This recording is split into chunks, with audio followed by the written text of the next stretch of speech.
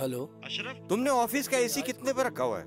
Sir अठारह पे है। ओहो मैंने तुम्हें कितनी बार कहा है कि ऑफ़िस का एसी छब्बीस पे रखा करो। यहाँ लिफ्ट बंद हो गई है।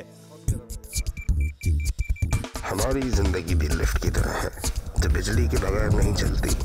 अगर कल को रोशन बनाना है तो आज बिजली बचाना है क्योंकि बिजली बचेगी तो ज़िंदगी चलेगी।